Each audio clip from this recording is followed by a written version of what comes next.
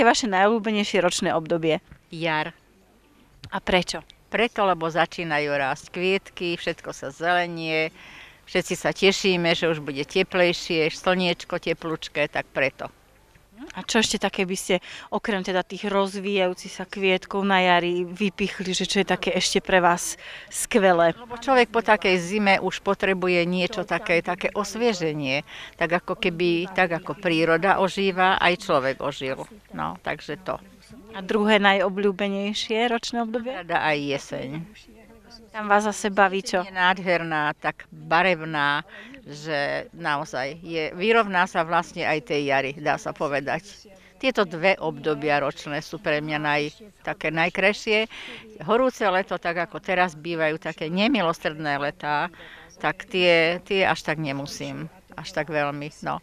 Ale toto, tieto dve. Takže. A zimy, užívate si zimu? Nie som už tak mobilná, ako som bola, takže zimy bývali nádherné, plné snehu, tak to boli zimy. Toto už je také, že áno, nie. Viete, že jeden deň je chladno a druhý deň je už teplejšie zase, takže to striedanie také rýchle je nepríjemné, myslím si, pre každého, aj pre organizmus človeka, aj pre prírodu. Aby si stále zvykal na nejaké také skoky veľké. No, takže tak. Aké je vaše najobľúbenejšie ročné obdobie? Ja som povedal, že leto. A prečo? Tak človek nemusí toho toľko veľa na seba nahodiť. Stačí mu len zo pár vecí a ide, funguje. A nebýva vám hrozne, hrozne teplo? Ani nie. Nie. A čo ešte na tom lete je také super? My sme teplomilní a veľmi spokojní s tým, čo príde, určite áno.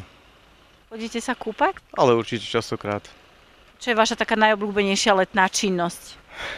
Okrem toho, že sa nemusíte obliekať. Sk- Skôr bicyklovanie a plávanie. Niekde v prírode alebo na nejakých cestných okruhoch? Skôr príroda, vysoké Tatry, nízke Tatry, Tanap. Takže tak. A druhé najobľúbenejšie ročné obdobie je po lete čo? Po lete mohla by byť aj zima, kľudne. Potom to chce až lyže a takéto zábavné veci. Mhm. A keď je jar alebo jeseň, tak to si len tak akože prečkáte, že sa tešíte vždy na to leto a zimu? Dnes by som povedal, že už fungujú len dve ročné obdobia z tých štyroch. Mhm. Takže tak. Aké je tvoje najobľúbenejšie ročné obdobie? Mm, Leto, Prečo? mm, lebo mám vtedy narodeniny A? mm, a mm, ideme vtedy na dovolenky a svieti tak slnko pekne. Nechodí sa do školy. No, nemusím sa učiť. Ako si užívaš leto najčastejšie? Alebo čo je tvoje také naj na tom lete?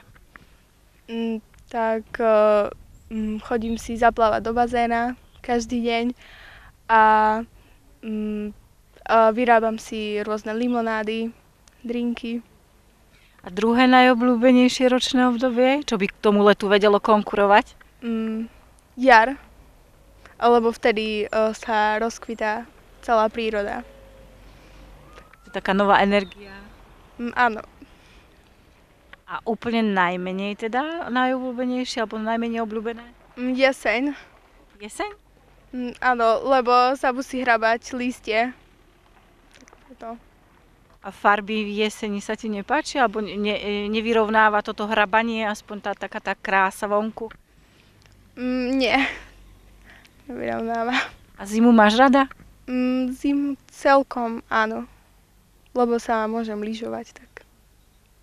Chodíš tu o, na salamandru lyžovať? Áno, na salamandru.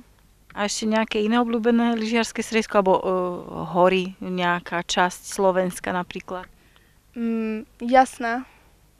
Aké je vaše najobľúbenejšie ročné obdobie? Pre mňa je najobľúbenejšie jar.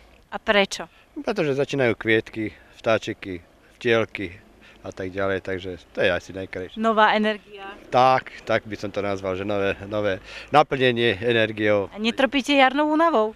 Nie, nie. Žiadna únava nesmie byť, lebo začínajú práce na záhrade, takže asi ťažko už potom. A druhé najobľúbenejšie?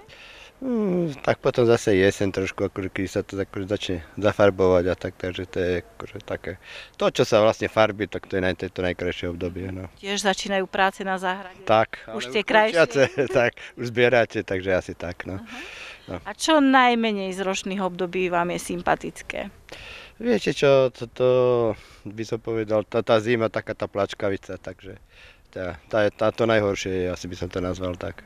Keď je, síce je sneh, ale nie je to také, ako by to malo byť. Nemôžete do záhrady. To by nevadilo, ale keď nie je blato a všetko, takže keď buď nech je zima taká, ako má byť, alebo potom už žiadna radšej. A čo leto? Tak leto je svoje, to má svoje čaro, takže leto, pýtajte sa na to, ktoré je najkrajšie, alebo najlepšie pre mňa, takže leto má svoje čaro, no takže tak.